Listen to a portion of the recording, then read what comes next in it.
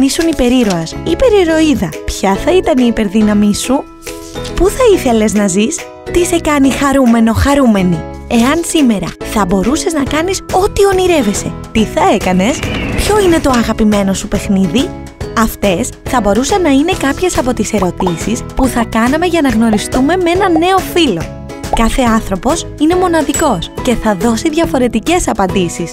Δεν μπορούμε να μαντέψουμε τις απαντήσεις ανάλογα με την καταγωγή, το χρώμα, τη θρησκεία, την αναπηρία, το φύλλο και άλλα χαρακτηριστικά της ταυτότητας κάποιου ανθρώπου.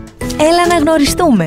Αυτά που μας ενώνουν είναι περισσότερα από αυτά που μας χωρίζουν. Μην κολλάς μόνο σε αυτό που φαίνεται και σε αυτό που νόμιζες μέχρι τώρα.